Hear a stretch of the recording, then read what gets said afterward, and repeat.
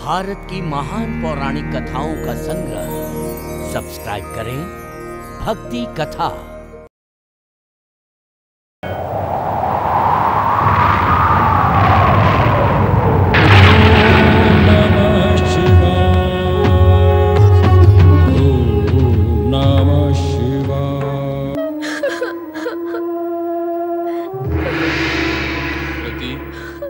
शांत हो जाओ। विलाप न करो। होनी कभी अनहोनी नहीं हो सकती। जो हुआ, उसे स्वीकार करो। हे देवेश्वर, किंतु किस अपराध का दंड हमें मिला है? देवराजेंद्र और देवगण के कहने पर कामदेव ने आप पर पुष्पान चलाया और आपकी समाधि भंग की। इसमें हमारा कोई स्वार्थ नहीं था।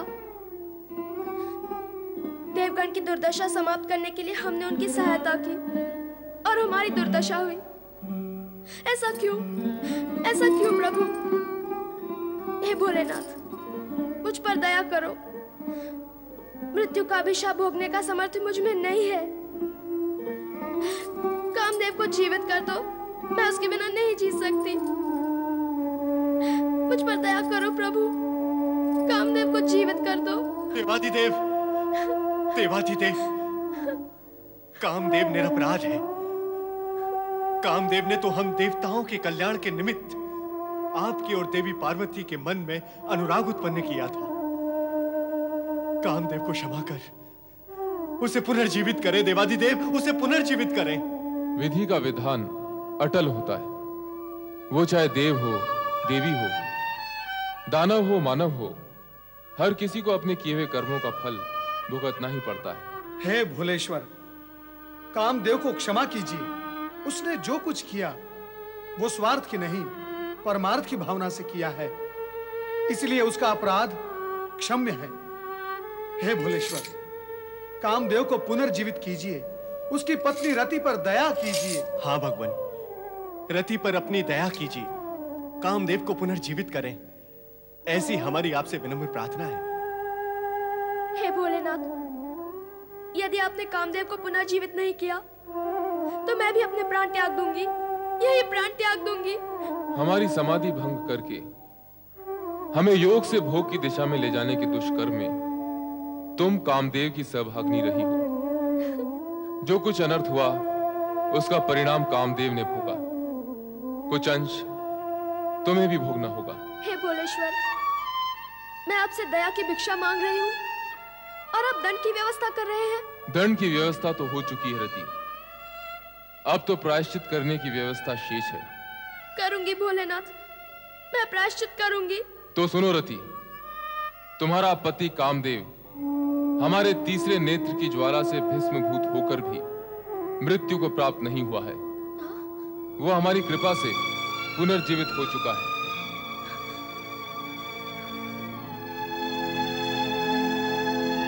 वो लौकिक नेत्रों से दिखाई नहीं देगा। वो जीवित होते हुए भी अंग रूप में देखा नहीं जा सकेगा।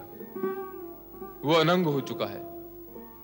मनमत अब वो सशरीरी नहीं अशरीरी हो चुका है। अब वो अनंग और मनोज के नाम से जाना जाएगा। क्या होगा शरीरी पति को प्राप्त करके भगवान? प्रायश्चित होगा रति। मैं प्रायश्चित करूँगी परंतु इसे इतना कठोर न बनाइए। प्रायश्चित की व्यवस्था दुष्कर्म करने वाली की इच्छा से नहीं होती रहती जिसके प्रति दुष्कर्म हुआ है उसकी इच्छा के अनुसार होती है। मैं आपके इच्छा अनुसार ही कर्म करूँगी भगवान किंतु मैं ये भी जानती हूँ कि आप सर्वशक्तिमान हैं पूर्ण समर्थ हैं। यदि आप कृपा और करुणा करके मेरा और मेरे पति का अपराध क्षमा कर दें तो मुझे मेरा पति पूर्ण शरीर रूप में प्राप्त हो जाएगा। अवश्य हो जाएगा किंतु अभी नहीं। फिर कब प्रभु? तुम्हें द्वापर युग तक प्रतीक्षा करनी होगी।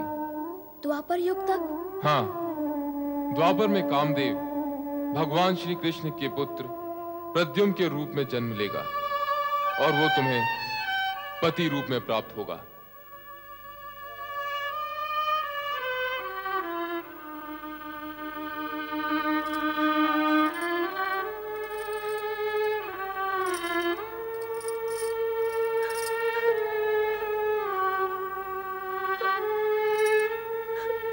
धीरज धरो रति भगवान शिव ने जो कुछ तुम्हें कहा है, सत्य अवश्य होगा। द्वापर में तुम्हें कामदेव पुनः प्राप्त होंगे।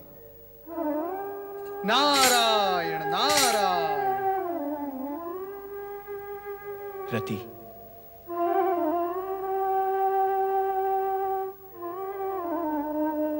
रति, सत्य तो यह है कि मैं तुम्हारा अपराधी हूँ।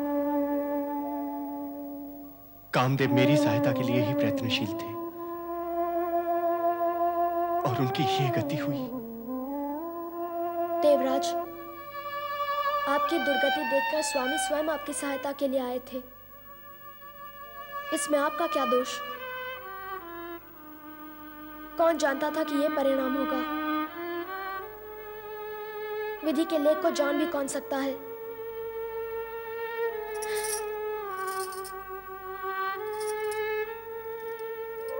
केवल एक ही सहारा है।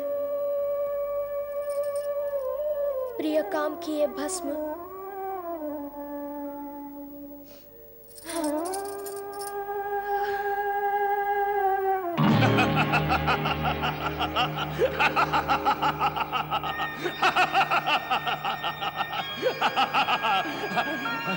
भस्म हो गया। और क्या होना था? यही होना था। तार का सुर से टकराएगा कामदेव तो यही होगा, यही। तू समझता था कि अपने पुष्पाण से तू शिव विवाह का चक्र चलाएगा। शिव पुत्र उत्पन्न होगा। जो मेरा वध करेगा। और मैं मारा जाऊँगा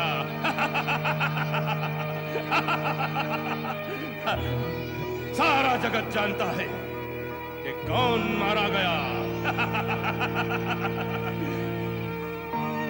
अब शिव पुत्र उत्पन्न होने का प्रश्न ही नहीं उठता। और ब्रह्मा के वरदान अनुसार अब मैं अमर हूँ। मुझे कोई नहीं मार सकता, कोई नहीं। सेनापति क्या कोई मुझे मार सकता है? नहीं महाबली जिसको मरना होगा वही आपको मारने की बात सोचेगा।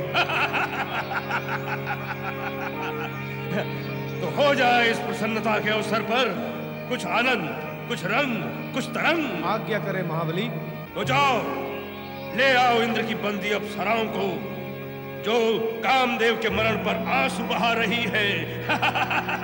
कहा उन्हें कि हमारे सामने नृत्य करें। जाओ। जो आज्ञा महाबली मदिरा।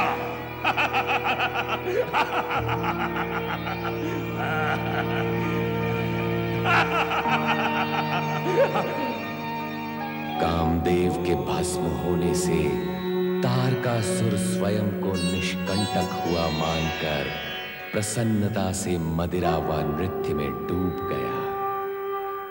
वो इस अमिट सत्य को भूल ही गया कि पक्ष में एक घटना के घटित होने से विधि का घटना चक्र कभी रुकता नहीं। कामदेव के भस्मीभूत होने से पार्वती की साधना और उसके दृढ़ निश्चय में तनिक भी अंतर नहीं पड़ा। प्रत्युत वह और अधिक दृढ़ संकल्प से तपस्विनी का परिधान धारण कर हिमालय राज के सम्मुख आ गई।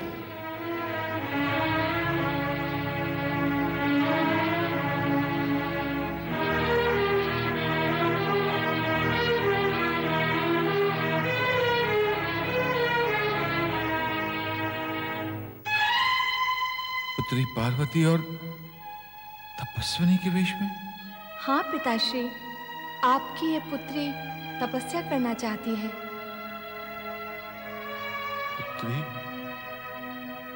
मुझसे ना तो तुम्हारा ये वेश देखा जा रहा है और ना तुम्हारी इच्छा सुनी जा रही है। यदि पिता होकर आप मेरे मन की बात नहीं सुनेंगे तो फिर कौन सुनेगा?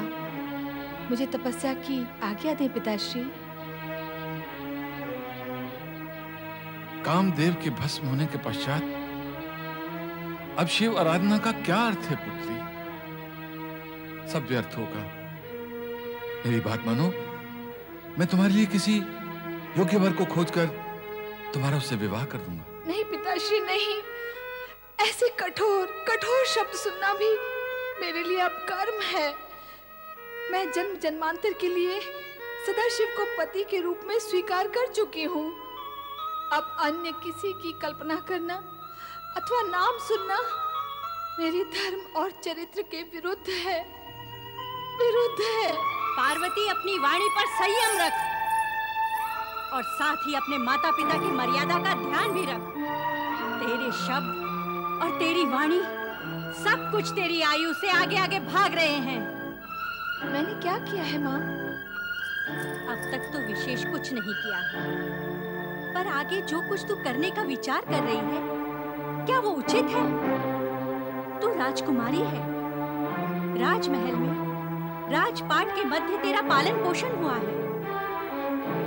शिव के निमित्त, शिव आराधना और तपस्या करने की अनुमति मैं तुझे सर्वथा नहीं दे सकती।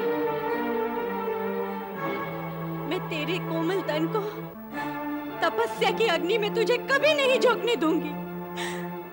कभी नहीं झोंकने दूँगी। और फिर एक राजकुमारी का, किसी योगी के साथ इस प्रकार का रागात्मक संबंध, क्या ये राज परिवार के लिए शोभा की बात है? इसमें अशोभनीय क्या है? है कोमल राजकुमारी का कठोर योगी से अनुराग। आज तक देखा सुना नहीं गया। जो आज तक नहीं हुआ वो अब भविष्य में होगा तो अनुचित होगा। ऐसा किस ऋषि अथवा मुनि ने कहा है? तुम तर्क बहुत करने लगी हो पार्वती। अपने उचित पक्ष को प्रमाणित करने का प्रयत्न तर्क नहीं होता।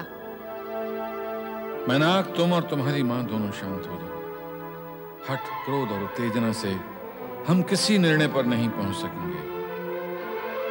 मैंने निर्णय लिया है कि पार्वती को तपस्या की अनुमति दे देनी चाहिए।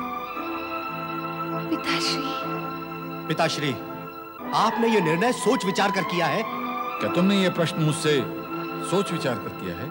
आप तो मेरे किसी विचार से सहमत हैं ही नहीं।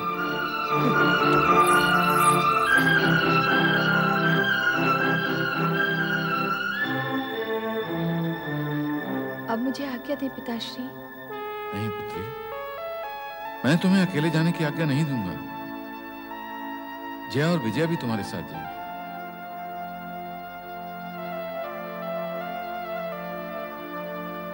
अब मुझे आज्ञा दे माँ। पार्वती मेरी पुत्री मेरी पुत्री।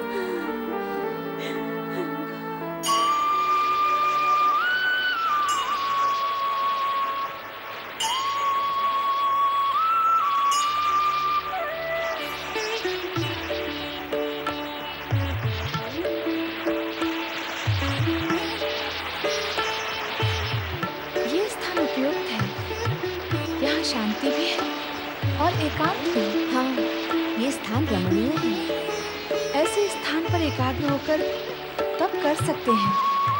मैं मैं यहीं बैठकर तपस्या करूँगी। यहाँ तपस्या करोगी अकेली इस घोर सुनसान में? यहाँ इस प्राणी शून्य स्थान में क्या तुम्हें भय नहीं लगेगा? कैसा भय? किसका भय? विधाता रक्षक है, नहीं पार्वती। हम तुम्हें यहाँ अकेला छोड़कर नहीं जा सकते। महाराज और महारानी को क्या उत्तर देंगे? इसका दिया हुआ उत्तर ही वहाँ भी दे देंगे। किंतु क्यों दे और क्यों जाए, इसे अकेला छोड़कर देखो, तुम्हारा ये हट उचित नहीं है और तुम्हारे सारे हट उचित है। तुम दोनों भावना में मत बहो। मुझे मेरा कर्तव्य करने दो। भावुक होकर कर्तव्य पूर्ण नहीं हो सकते। अब तुम दोनों जाओ। तनिक सोचो, पार्वती, इस निरह एकांत में हम तुम्हें अकेला छोड़कर कैसे जा सकते हैं? मन में आशंकाएँ उठती हैं। तुम दोनों तो दुर्बल हो ही। अब मुझे भी दुर्बल बनाओगी। मैंने कहा ना मैं यहाँ तपस्या करने आई हूँ। और उसके लिए निर्भयता दृढ़ता और संकल्प की आवश्यकता होती है। अब जाओ तुम दोनों। हमारा मन नहीं मानता पार्वती। मन की मत सुनो। बुद्धि से काम लो। क्या शिव की आराधना करने वालों को कोई भय हो सकता है? शिव मेरे साथ हैं। तुम निश्चिंत होकर जाओ। जैसी तुम्हारी इच्छा। किंतु समय समय पर हम तुम्हारी जानकारी लेते रहेंगे।